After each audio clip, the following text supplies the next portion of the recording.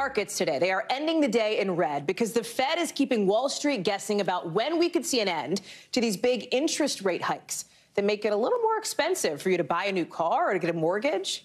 There's no slowdown coming today, with the central bank announcing a new three quarters of a point jump, which brings us to the highest rate overall, nearly 4%, since Flo Rida and T Pain got low on top of the charts January 2008. Okay, now Fed Chair Jerome Powell says they could slow down the rate hikes, but maybe not in December. Why not? He says the numbers suggest it's just not time yet. We still have some ways to go. And incoming data since our last meeting suggests that the ultimate level of interest rates will be higher than previously expected. We know the markets do not like uncertainty, right? Because even though they expected today's hike, they don't really like the lack of clarity about what comes next. Remember, the reason why the Fed is hiking rates is to try to get a handle on inflation. We're talking about everything you feel in your monthly budget. Even though we're getting paid more, people's pay is generally up 7.5%. The cost of things you need that's going up faster. Okay. And with gas prices going up too, again, one Arizona voter told us it just feels stressful. I mean, I do a lot of driving. Um, gas prices are high. I'm seeing a you know a decrease in my income just because I got to pay more for, for gas. Now, lest you think it is all doom and gloom here on the news, let me disabuse you of that notion because there is reason for optimism, a big reason when it comes to jobs numbers. There's nearly two openings for every available worker right now. That is a good thing. And with the economy on everybody's mind, President Biden is promising to get costs down. He's announcing $13 billion, rolling that out today to fight higher energy prices. But you know what his big focus is going to be just about a block from where I'm standing later on tonight? Protecting democracy with a primetime speech here in Washington, just steps from the Capitol in the next couple of hours. We're going to talk about that with Kelly O'Donnell in just a second. But let's get into the economic piece of things with Tom Costello. Because, Tom, it is not unexpected that the Fed hiked rates today. We knew that was going to happen. It seems like what was unexpected was Jay Powell getting up there and saying, like, we're not so sure what's going to happen next year. Yeah, bingo. I mean, the bottom line is three quarters of a point hike that was expected. Uh, and we've ex- been expecting another rate hike coming in December. But the markets and the economists out there were generally hoping that Powell today would say, we probably can ease off a little bit in December. In other words, instead of another three quarter point rate hike, maybe we do half a point he wasn't going there. I mean, he essentially said maybe, maybe not, and leaning towards maybe not. The problem is inflation remains stubbornly high. I mean, we are still at 40 year highs on inflation, despite the fact that the Fed has now raised rates six times this year. And, you know, we've talked about this many times, and I get stopped all the time just in the newsroom. Yeah, this is their only tool, right? They've got a sledgehammer to try to bring down inflation. They don't have a scalpel. All they can do is raise prices to try to make it too expensive for you to go out and buy stuff, and therefore that slows the economy. It hasn't worked yet, and as a result of that, uh, it is likely to see we're likely to see interest rates moving even higher on credit cards, on adjustable mortgages, on equity lines, everything right. you see there on the screen, uh, because so far this ain't working, and the Fed needs to keep trying. Let me channel what I think is probably the question for every person who is watching right now. And it is an unanswerable question, but I'll put it to you, which is okay, so when is it going to start working? In other words, when will these moves that the Fed is making? When will we see inflation, right, start to come down as an indication that the Fed's actually getting a handle on it? and therefore the Fed could start could stop uh, hiking rates. And they essentially said today, we just don't know yet. Uh, we are in uncharted territory, and we heard the same thing from many top Wall Street, you know, bankers and economists saying maybe next year, maybe at the end of next year, we'll start to see inflation come down. So far, it is stubbornly high. And, and here's another. So, like, we should be buckling, point. but Tom, like, we should be buckling up for like two years or longer, not yeah. like two months, and definitely not two weeks, right? I mean, just give us the scope of that. It's it's a long. This is like medium, long term haul. Absolutely, and here's the deal. Chairman Powell today said, listen, we would rather tighten too much. In other words, raise rates too much than not enough. Because their fear is if they don't really go hard right now trying to stop inflation, it will become entrenched. It'll become a part of our fixed economy with inflation running at 8%, and that is a killer. So their feeling is we can overdo it. We'd rather raise rates too much and then cut than essentially be behind the eight ball. Tom Costello, thank you. Appreciate it. Uh, good to see you breaking it down for us as you always do. Uh, the economy, obviously a big issue, a huge issue for voters right now, right? We know, based on some new polling that is out that we're going to talk about, that a third of voters say that's among the most important issues to them. There's something else that voters say is important, and that's what President Biden is going to be talking about protecting democracy. He's set to give a speech here in semi prime time, 7 o'clock Eastern, 4 p.m. Pacific, about the potential of violence from election deniers. You're looking at the numbers here, right? You can see, we know that from our NBC News polling, threats to democracy is an issue for people, but look at this inflation, 36%, including, obviously, most Republicans, a majority of Republicans, immigration, abortion, also issues that are affecting people as well. I want to bring in now Kelly O'Donnell, who is tracking and following what President Biden is going to be up to tonight. This is his closing message, Kelly. And what's interesting is I think people might think, well, wait a second shouldn't the president be in like a battleground, right? Like Georgia, Pennsylvania, Eric, pick, pick it. Where does he go? He's going to be, I'm literally looking at Union Station right now. I can see it from where I'm sitting at on set. Blocks from the Capitol. This is very intentional. The White House wants this backdrop near you, near the Capitol as the president is talking about how he sees the stakes of election night six days away. And the president is honoring one of the rules of politics, and that is to not hold an overtly political event at the White House. In the prior administration, that rule was set aside uh, frequently. Yes. The president is not doing that. He's going to neutral territory in the city and one of the jewels of Washington, D.C., Union Station, right next to the Capitol, to talk about this issue uh, in an unusual time slot. Typically, the president makes remarks during the day. This isn't prime time like a 9 p.m. address, but it is an evening address, and that signifies some of the importance here. And the president will hit the road uh, for more traditional campaign campaigning over the next several days. But this is a message that is about more than just this one set of candidates and issues on the ballot for people around the country. This is something that has a much longer time horizon, and that is talking about important issues of democracy, concerns about election deniers who are in fact on the ballot in many places around the country, and how that could affect and change the nature of American politics and democracy, talking about the violence that has now uh, taken uh, really a very vivid example in San Francisco with the uh, life-threatening attack on Paul Pelosi, husband of Speaker Pelosi, uh, and, and also the environment of threats made against election workers and the rhetoric that's gotten very hot. So expect the president to talk yeah. about all of these things and what should unify Americans, uh, even if that is not a pocketbook issue. It's one that he hopes will be in people's uh, minds and hearts as they consider uh, what they want to do with their ballots. Kelly? This, I'm going to be honest with you, Kelly. A very annoying thing happened while you were speaking there, which is we got excerpts Did of excerpts the president's come speech. Out? Okay. Yes. Well, you can't look at your phone. I'm sorry. I know that's that's frustrating that you. That, we knew they were coming. Yes. Yeah. So they're out, right? And I think it speaks to. I mean, you have so capably laid out what you have heard from sources inside the White House here of what the president is going to say. But I want to read one line, Kelly, and I'll give you a moment to look at your phone too, as I'm looking at mine. Um, he says, you know, he points out as he lays out the stakes, according to these excerpts that have been released now from the White House. He points points out there are candidates running for every level of office in America who won't commit to accepting the results of the election they're in. And President Biden is expected to say tonight that is the path to chaos in America. He's expected to say this is no ordinary year, right?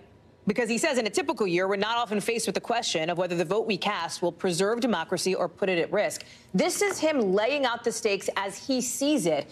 The question is, is he, Kelly, in some ways preaching to the choir. In other words, are there persuadable voters out there who will hear this from the president, the head of the Democratic Party? Um, because really, none of what the president is going to say is anything new if you've been following the news. We know there are election deniers running for office. We know that the White House, the president, and many Democrats have worked to cast this election as a fight to preserve democracy. And it has been an issue that has been uh, much more top of mind for many Democratic voters than Republican voters in some of the surveys that have been done. So these are themes we've heard the president talk about. He will lay this out in very stark terms. The real question will be will others come along who don't agree with Joe Biden, politician, when they're hearing from President Biden, leader of the country and of all Americans? That'll be a real question. Kelly O'Donnell live for us on the North Lawn of the White House. Kel, thank you. Appreciate it. So while the current president is said to be at Union Station here, his former boss, former President Obama, he's going to be out on the campaign trail in Arizona for the first time since leaving office, part of this cross country tour that'll take him to Pennsylvania Saturday after a trip to Nevada last night, where his message, honestly, was pretty straightforward. The reason I'm here is simple. I'm here to ask you to vote. Vote, turnout. It will not shock you that turnout is going to be the key to these elections, okay? It's going to be his message in Arizona, too, a state that is about as battleground as a battleground can get. Look at this the race between Senator Mark Kelly and Blake Masters really tightening up over the last month, right? I mean, totally inside the margin of error, basically. You've also got a governor's race there between Kari Lake, a high profile election denier on the Republican side, and Democrat Katie Hobbs, also inside the margin of error. Vaughn Hilliard is in his happy place, which is Phoenix, Arizona, uh, a state that he knows better than probably anybody in our building. Um, you, you spoke with Senator Kelly. What's interesting here is who he's deciding to share the stage with and who he is not making a big point to share the stage with. Talk us through it. Right. This is the first time that you are going to see the gubernatorial candidate, Katie Hobbs, appearing on stage with Mark Kelly throughout this entire campaign here.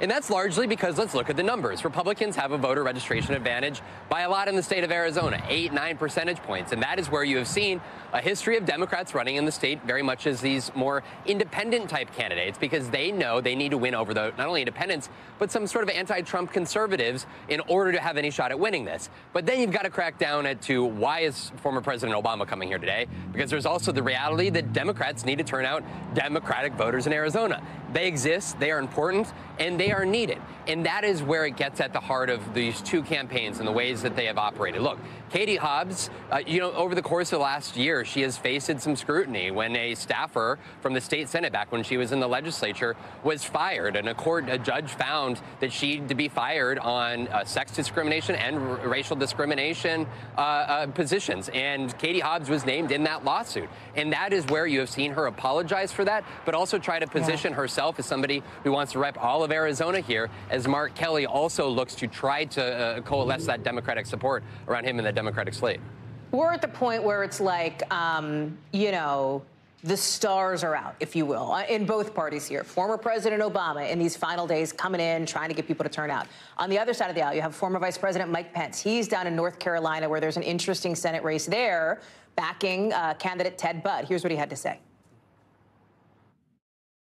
North Carolina is going to do your part to elect a Republican majority in the Senate, a Republican majority in the House of Representatives. We're going to end the speakership of Nancy Pelosi once and for all. And with Ted Budd in Washington. There is a strategy here, Vaughn, as you well know, for where these surrogates mm-hmm. are headed and when.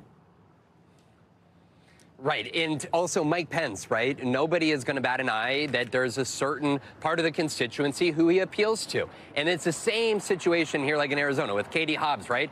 Folks, these candidates, Ted Budd, Katie Hobbs, they have had negative campaign advertisements that have been run against them that are hitting at their core constituencies, essentially trying to cut into the inspiration for voters to come out and back them. And that is why you see Mike Pence coming out and trying to bring, especially those more traditional conservatives, those evangelical voters, to come out and support him. And that is why you see Barack Obama here with Katie Hobbs and Mark Kelly. They're trying to bring home those voters who typically vote but may question whether this election, this midterm election, is one that they want to take part in. They need those voters just as much as they need swing voters in these very highly contested races. Because you're a midterms correspondent tonight, Vaughn, uh, and you're wearing that hat for us around the country, I want to quickly touch on Pennsylvania because what's so interesting to me is, as President Obama, former President Obama, goes to Pennsylvania next, is we're now seeing the first poll taken totally after that Senate debate between John Fetterman, the Democrat, Mehmet Oz, the Republican here. And turns out, Vaughn, lo and behold, doesn't seem like it moved the needle all that much. Fetterman's up by about five points, close to the margin of error. Only 3% of people, according to this poll, are reconsidering their support for Fetterman after that debate. Um, not a huge impact, even though, listen, 3%, this is a tight race. That could make a difference. Talk me through it. Right, 3% is, is not significant here. And when you're talking about where we are in 2022. It's a conversation that we have every election cycle, Hallie. Are, are folks going out and voting based off of one issues, two issues, or are they voting based off of the top of the tickets and sort of the idea of uh, Trumpism, right? Or on the Democratic side, are they voting on uh, in an effort to reject election deniers or individuals who are anti-reproductive rights? You know, these are the questions that we'll have a much better understanding of after this Tuesday. And in the case of John Fetterman, if that polling indicates uh, uh what is indicated in that polling actually plays out over the next five days, it'll be a statement that voters ultimately were voting on the issues and they were not turned off by any health conditions that he may be facing at this time. Vaughn Hilliard live for us in Arizona covering all of it. I'll see you uh, every day, I'm sure, for the next six days, friend. Thanks. Let's talk about what just happened in the last maybe 20 minutes or so as we were coming on the air. The Parkland shooter officially sentenced to life in prison with no parole for the 2018 massacre at Marjory Stoneman Douglas High School. The sentencing comes after 48 hours of incredibly emotional statements from the family members of victims. Sam Brock is there. He is covering this developing news from outside the courthouse in Fort Lauderdale. And the judge in this case followed a jury's recommendation here. How are, how are family members feeling about what they might see or might not see as justice? As the judge noted in her initial remarks, that she did not dress down the shooter, Hallie. She spoke to the families before rendering that sentencing and said some of the most amazing restraint, grace, strength, and resolve that she had ever seen in her professional career. And the testimony today I have never seen anything like this, Hallie. In terms of what the families identified, they discussed the institutional failure, the FBI not following up on tips, the school failing to intervene with someone who had hundreds of hours of therapy, and of course now the legal system coming to the conclusion that despite all of the evidence, all of the witness testimony, that the death penalty wasn't warranted here, these parents were beside themselves. Of course, they were deeply upset, but they just wanted to turn the page on this and tell this shooter, you are nothing. We're going to remember our loved ones above hmm. all else. And they read the names of all the victims and their ages. It was so powerful. And just one quick anecdote, Hallie. The father Please. of Scott Beigel said, You fired 139 bullets. At no point, not even after bullet one, two, three, four, or five, did you say, Oh my God, I can't believe what I'm doing. You continued to hunt our children in the hallways, went from first floor to second floor to third floor. As they were dying on the ground, you shot them again. These parents relayed the pain that they have experienced over the course of the last four plus years, and there are no words to do that justice what you are talking about is so critical, Sam, because it centers the lives lost, right? And we talk about that a lot on the show, centering the victims of horrific acts of mass violence like this. This has been, as you point out, years in the making. Um, this, and, and I, I, do hesitate to call it justice, Sam, because I don't think the families are calling it justice. It's not closure. It's not justice. Maybe it is accountability here at this point. It is, and there's a feeling that there is a complete lack of accountability in the sense that hmm. in the state of Florida, the laws were changed as of 2017. If this happened in 2016, this verdict would have been capital punishment. But the Supreme Court struck down a portion of that law in 2017. They reconfigured it from a simple majority to unanimous consent. That did not happen. I want to play one quick soundbite for you of Mr. Guttenberg, the father of Jaime Guttenberg, in court today, describing seeing the video for the first time of his daughter being murdered. Here is what he said. I watched you kill my daughter on video. And unfortunately, I saw you killing many of the others as well. I saw you enjoying it. And I saw also what I expected of my daughter, who was the toughest human being on the face of the earth, running for her life down the hallway. And the thing is, my daughter made it to within one second of being alive. She actually made it into the stairwell. You shot her with a single shot. You severed her spinal cord, her chest filled with blood in the stairwell. You did that. You did that to the other 16 as well. It was Fred Guttenberg's wife, Jennifer, who said to the shooter, How dare you wear your mask this entire time? How disrespectful to the families. And believe it or not, Hallie, he took down his mask. And from that point onward, we listened to all these family members pour out their hearts, and you would cut away to him. Nothing. No facial expression, no anything. When they got up after the verdict, after the sentencing, I should say, was read, he walked away. It looked like he might have been wiping his tears for a second. He was just putting that mask back on. And that was the end of the hearing today. But no semblance of emotion on anything as he was dressed down all afternoon. And he will spend the rest of his life behind bars. Sam Brock, I'm glad you're there for us. Thank you for bringing that to us. We got some more breaking news, this time into us from New York, where the state's attorney general says she's secured more than $30 million from CBS and its former chairman for insider trading. Les Moonves, the former C- uh, chairman from CBS, stepped down in 2018, remember, after a number of allegations of sexual harassment and sexual assault. The AG's office says it has evidence that a captain for the LAPD knew about a sexual harassment complaint and worked with CBS executives to keep it quiet, to stop it from becoming public. The filing shows a text from the captain to one executive the day that Moonves resigned, saying, quote, we worked so hard to try to avoid this day. I am so completely sad. Tom Winter has this story for us. What else do we know about how this went down? Reaction here from CBS, statements from Moonves, et cetera. What's up? So, Hallie, this investigation all started out with a potential violation of New York's Martin Act. Basically, they have to disclose as a publicly traded company certain things to its investors, certain things to the general public. And one of the things they didn't disclose is the fact that Moonves was facing this criminal investigation from the LAPD that you referenced, uh, another woman's allegations, uh, as well as other uh, allegations that have been brought forward, including reports by reporters, and that they didn't say that in their SEC filings. That launched this investigation investigation, which then unearthed this whole LAPD issue. We've reached out to the LAPD for comment. They said they weren't aware of this uh, prior to us reaching out to them, prior to these law uh, to these court papers being dropped, rather, Hallie.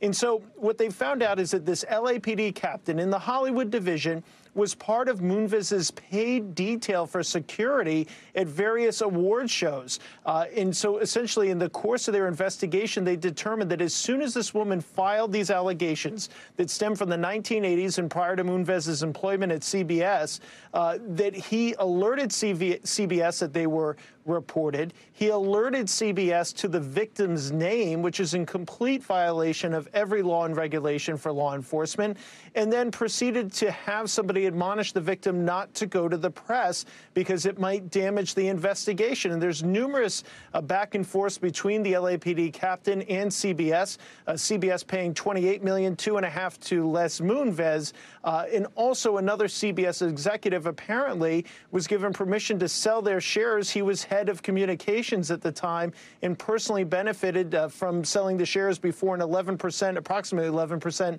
stock drop. Now, CBS has not yet issued a statement, uh, but this was a settlement today between the two parties, and we haven't heard from Les Moonves either. But it's clear that there was quite an effort here, according to the New York Attorney General, to make sure that these charges, uh, or at least this criminal complaint, stayed quiet for a long time in the middle of fierce reporting. And of course, all this going on, Hallie, as you referenced, during the height of Me Too. That's right, in the thick of the Me Too movement. Tom Winter, thank you.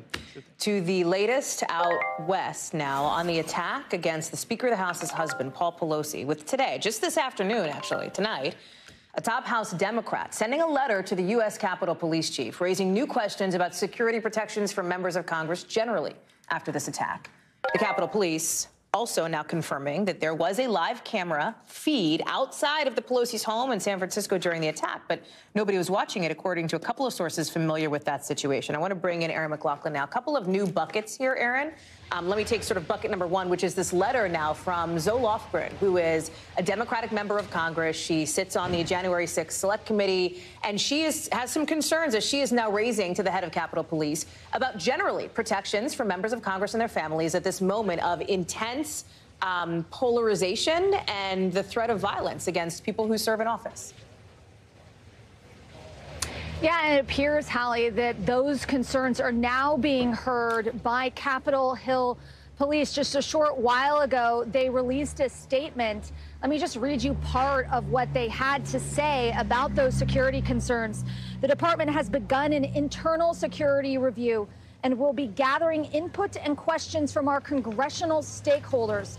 We have been immensely grateful for the critical support that Congress already provided to secure the U.S. Capitol complex after January 6, 2021.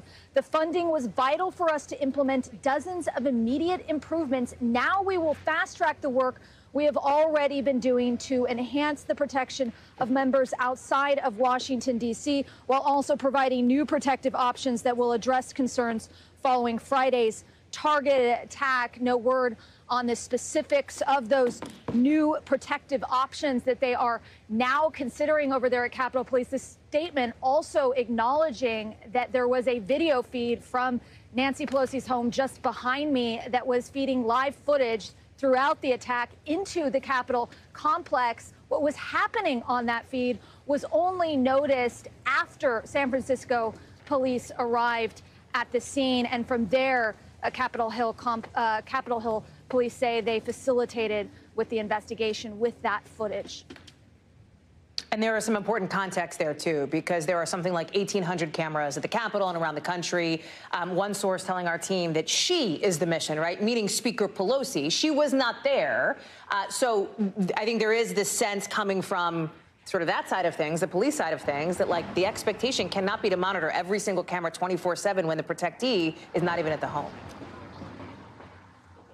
Yeah, she was the mission, uh, according to uh, uh, sources there speaking to my colleague Garrett Haake, but it appears, according to the statement from the Capitol Hill Police, that that mission is changing in light of the nature of Friday's attack, which a prosecutor here in San Francisco alleges was politically motivated. In fact, according to a memo submitted to the court by the prosecution providing really chilling details about the attack itself, what the suspect had to say inside of the House, and, and making it clear that he was not only targeting the Speaker of the House, but he also was naming other prominent uh, lawmakers, right. federal and local officials, as well as the name of a professor. So it wasn't just Nancy Pelosi that he was looking at. Erin McLaughlin live for us in San Francisco. Erin, thank you. Today, back here in D.C., we're learning that the Washington football team, the Commanders, may be up for sale. And after years of controversy, you got a lot of folks saying, well, it's about time. Owner Dan Snyder hiring Bank of America to explore, I'm quoting here, explore potential transactions. Emphasis on the word potential, because nothing's a done deal here yet. The Snyders say they remain committed to the team, its employees, its countless fans. And a person familiar says Snyder is being forced to sell. For years, there's been a lot of public pressure to get him out. Why? Well, right now, he and his team are being investigated by Congress, okay, by the House Oversight Committee and the NFL after a league investigation found their workplace culture was not professional, especially for women with former employees claiming they were sexually harassed, verbally harassed while working there. Snyder has denied any wrongdoing. Alex Sherman is joining us now. Okay, Alex. So let me tell you, like, what the most high interest story is where I live in Washington. Like, it's it's a lot of this because the Snyders, Dan Snyder, very controversial figure here. I know the Commanders said they like are definitely not going to sell the team. They haven't said either way definitively here, but hiring a big bank seems like a very clear indication of which way they're headed. Uh, 100% agree, Hallie. When when you hire a bank like Bank of America to explore options, that means you're serious. I mean that yeah. that was that's that's always been my own personal reporting standard in terms of when to know when to report if a general acquisition uh, is, is is for real or not. So this is for real. Um, so if you are a Washington Commanders fan and you've been waiting for the day for Daniel Snyder to sell the team, uh, this is certainly a pivotal day. As you said, no deal yet, uh, but the team is valued by Forbes at $5.6 billion. If he does go ahead and find a buyer, I'm told he could find a price as high as $7 billion. That would wow. blow away the old record for any sports franchise uh, sold in terms of overall valuation. Uh, the, the highest previous one was the recent sale of the Denver Broncos at $4.65 billion. Who would be a buyer? And if this deal happens, Alex, I mean, Snyder is is now then like would have no involvement with the team, right? Like it would be kind of a cleaning of the house kind of situation. Absolutely. I mean, you have to think that's what's motivating this. Uh, uh, certainly, there are various degrees of what being forced to sell the team means. The league didn't put out a statement or anything saying uh, he's been forced, but anyone who's been following the Daniel Snyder situation uh, is certainly familiar with the various different misconducts, uh, allegations, and investigations that you mentioned prior to that, Indianapolis owner Jim Irsay came out recently and said, look, we may have to think about removing him as an owner. So there's a lot of pressure for yeah. him to sell. You'd have to imagine, you know, get out your Rolodex of wealthy individuals in terms of someone to buy it because $7 billion is a huge price tag. Um, so, you know, look, I, at this point, it's pure speculation. Certainly, the one around the office people are talking about is would Jeff Bezos make a bid? He owns the Washington Post. He's very close with Commissioner Roger Goodell. He likes football a lot. Amazon owns the Thursday night package. You never know. Alex Sherman, I imagine we are going to be talking more about this in the days and the weeks to come. It's good to see you. Thanks. Still ahead. Don't call it a comeback. Wait, or maybe do, because it looks like Benjamin Netanyahu might become Israel's prime minister again. Plus, could there be a pilot strike right around the corner? Why? I'm sorry. I'm sorry if you're traveling for the holidays, okay? But we got to talk about it because it could mess up your plans. We'll get to we'll get into it in the five things in just a sec.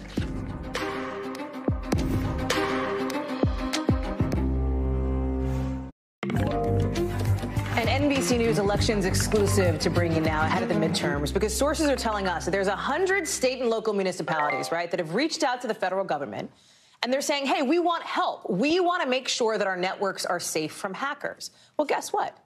They're on a waiting list here, six days out from Election Day because of a major backlog.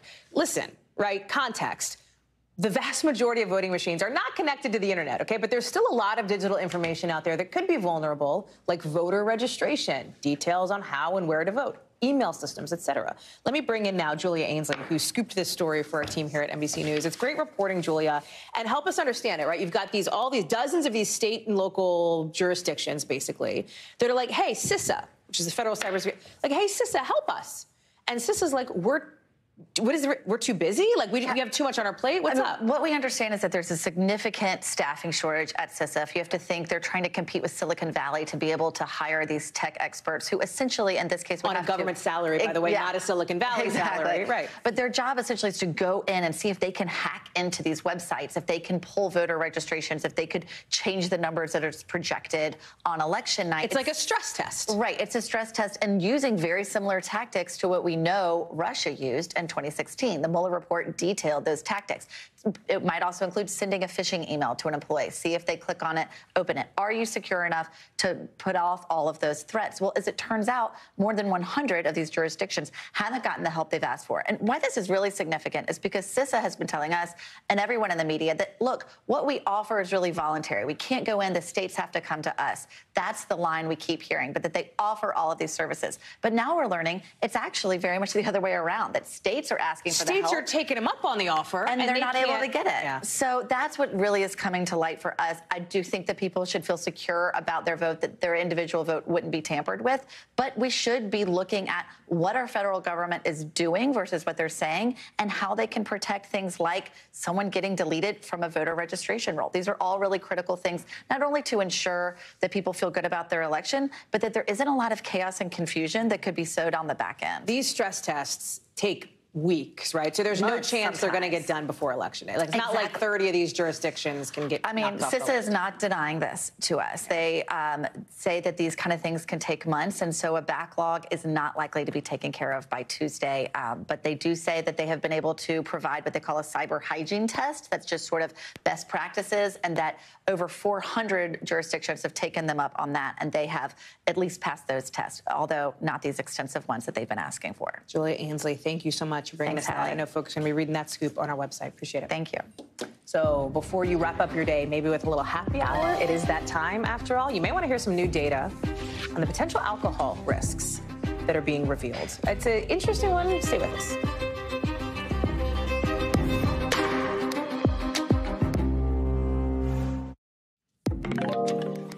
NBC News covers hundreds of stories every day, and because you couldn't possibly read or watch or listen to them all, our bureau teams have done it for you. This is what they tell us is going down in their regions in a segment we call The Local. Out of our Midwest Bureau, prosecutors believe two Iowa teenagers killed their Spanish teacher last year over a bad grade, according to court documents. Today, you had a judge hearing arguments on whether to exclude any evidence against teens from trial. Both of them were 16 at the time of the murder. They're now 17, and they've been charged as adults. From our West Coast Bureau, a Stanford University official says some guy pretended to be a student and lived in school dorms for at least 10 months. That person said the school's been trying to get rid of him since last December, but they couldn't actually find him until last week. Stanford says it's going to review its procedures to stop something like this from ever happening again. The student newspaper there reported this man had been living in a dorm's basement when they found him. Out of our Southeast Bureau, really bad drought has exposed an entire, look at this, That's a casino riverboat that had sunk in the Mississippi River near Memphis. It's called the Diamond Lady. This boat only sank about a year ago. But as the drought has obviously dried up all the water, like look what has come back to land. It's this boat, totally exposed. That's a visual that really tells the story. So listen, something to think about um, as you are thinking about maybe having a sober, curious Christmas or a holiday where you're cutting back on the amount of alcohol you're drinking, or maybe you're not. Maybe you're thinking the opposite. Whatever your thought process is on alcohol, there's this new study that is out today that shows too much drinking was the cause of one in five deaths of adults under the age of 49, so 20 to 49. Researchers were looking at this info from about a four year period between 2015 to 2019. And they found that deaths caused only by alcohol, right? Liver disease, alcohol poisoning, for example, those deaths have spiked in the past decade. And too much drinking can contribute to other leading causes of death, too heart disease, cancer, what is called by doctors like, quote, unintentional injury, right? When you hurt yourself and didn't mean to. Dr. Akshay Syal joins me now. Dr. Syal, um, you know, this, this new data basically shows that, that alcohol is a leading cause of preventable death for people of a certain age, younger than you might think, right, under the age of 49. Uh, does the, do these new numbers surprise you? And how should we be thinking about them um, if, if, if you are, for example, a social drinker? Yeah, good evening, Hallie. You know, these numbers, whether or not they surprise me, it's, it's kind of complicated. You know, we, we've known about the dangers of alcohol for a while, and I think where the surprise really comes in is how big of an issue this is. I mean, you had the number there, one in five adults under the age of 49. Um, but when you really think about it, I mean, alcohol is everywhere in our culture, from from shirts like "Mommy Wine Time" or you know, "Wine is cheaper than therapy" yeah. to, to turning on the TV and seeing wine in you know in morning news shows. So yes, this, you know, it's not too surprising, but I think just the magnitude of the one in five really, really did take me aback.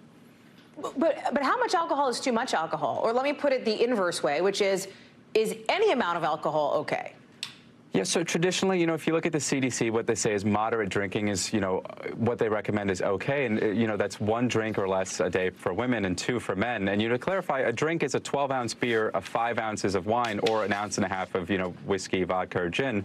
Um, but you know, more, more and more research is starting to show that even low amounts of alcohol can lead to things of you know increased risk of cancer. So you know, I, I realize if, if I were to come up here and say, you know, don't drink at all, nobody yeah, like would really listen to me. That feels kind of, can I be honest? Like that feels not realistic, right? Because like that just, to, to adults who might enjoy a glass of wine, who would not identify themselves as having what, what you might think of like a, an issue with alcohol, for example, which is something that exists. And there are plenty of people who are getting help for, for uh, being unable to not abuse alcohol, let's say. Um, I don't know that, that a doctor saying to somebody, don't drink at all ever is like going to be the, the smart solve here, right? No, I, I, agree with you. You have to meet people where they're at. And, you know, I enjoy a glass of wine myself as well. So, you know, the best advice I can give is really try to stick to it in moderation. Those two drinks or less per day for men yeah. and one for women as best you can. And it's not, you know, it's not a prescription to drink every day. It's when you are going to drink, just try to keep it to that number. Uh, Dr. Akshay Syal, thank you so much for bringing that to us. Appreciate Anytime. it. So to come here on the show somebody that I know you will be paying attention to during midterms next week. This guy, Steve Kornacki. Our backstory gives you a behind the scenes look at what it's actually like to be Steve in the week before an election. Like, I know Steve and I learned something tonight, so stand by.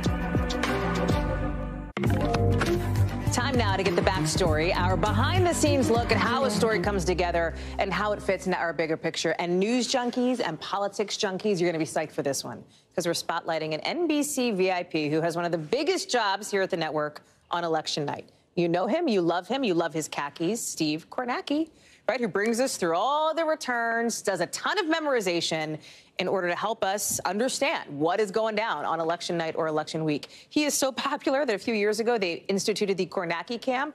It is just it is just all Steve all the time. That's my nightmare, but Steve crushes it. Okay? He's so good at analyzing numbers that our friends over at NBC Sports have actually borrowed him to break down data for the Super Bowl, for the Triple Crown, for even the Olympics. Joining me now is one of the best human beings to ever step foot into 30 Rockefeller Plaza, and that is Steve Kornacki. Hi, friend. It's good to see you. Hallie, it's great to see you too. So let me start off. We are we are six days out from election night. Like, you're ready? What are you doing? What's your plan? Like, do you have binders and binders of information? Like, what, what's up? Give us the behind the scenes look at what you're doing now, less than a week out. What was what was the old uh, Mike Tyson line? Everybody's got a plan until they get punched in the face, right? so, yeah, I got a plan, and I imagine about 7:30 p.m. it'll all be you know obliterated. Um, I, I, try to go into election night just um, aware of as many possibilities as possible. And, and, what that generally, I think, means is it, mean, it obviously means over preparing because it means trying to memorize a lot of stuff, commit a lot of stuff to memory, totally. numbers, maps, things like that. 95% of which will never get mentioned on air. But in the event that a particular race ends up being particularly consequential or close or meaningful, I need to be ready to, you know, kind of go deep on it. So the only way to do that is just to prepare for as many contingencies as you can what's your technique? Because like I'm prepping, right? And I like I'm like a briefing book person. So we're doing books and I'm doing docs and all that. Are you like a flashcard guy? Do you have a photographic memory? Like how do you do it all? yeah, I don't know. Folks of a of a certain age might might remember something called the Baltimore Catechism, where it's just a lot of memorization and, and committing.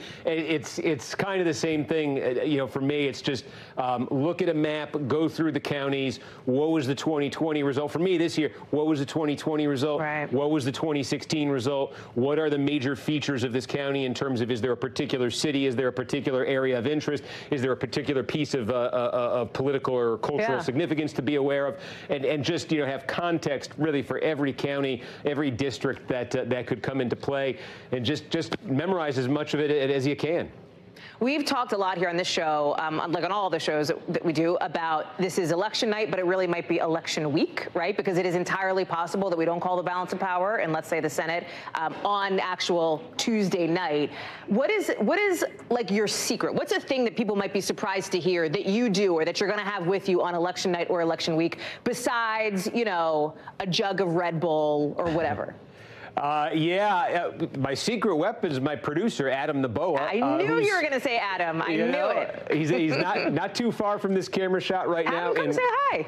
Adam, if you'd like, no pressure. They're, they're asking if you want to say hello. Adam's, you know.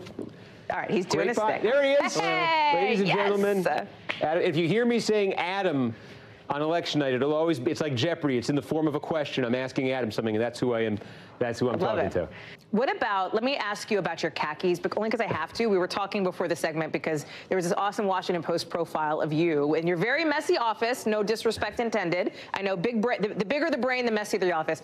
But the comments, people either love your khakis or hate them. What, what's up with that? Like, you're just wearing them because they're comfortable, right? Like, it's easy. I, I, never meant for it to be a thing. I'm still baffled by the reaction they got in 20. They happen to be what I, it's not like I have this lifelong, I'm always going to wear khakis. This is, I, I really had no huge attachment to it as a, a style of clothing. I just had them on that week during the election in 2020, and then it became a and everybody expects me to wear them all yeah. the time, but I, I, I, can wear other pants. I'm happy to. Okay. hey, before we let you go, we're out of time. What's the one thing we should be thinking about on election night? In other words, what's the one Kornacki thing that you're going to be watching that we should be thinking about that viewers might not be thinking about right now? I just Virginia because 7 p.m. is one of the earliest poll closing times, and there are three House races in Virginia that I think, for different reasons, can give us a guidepost to how the night's going to go. So I think a lot of Virginia early. Steve Kornacki, appreciate you. Thank you. Good luck next week. Can't wait to see you in the building. Thanks, Thanks a lot, Hallie. If you cannot get enough of Steve Kornacki, and I know you can't, check out his new original podcast, The Revolution, talking all things partisan politics. Scan the QR code on your screen now or just pull it up wherever you get your podcasts. That does it for us this hour. It's good to be with you. More tomorrow, same time, same place. More coverage picks up right now. Thanks for watching our YouTube channel. Follow today's top stories and breaking news by downloading the NBC News app.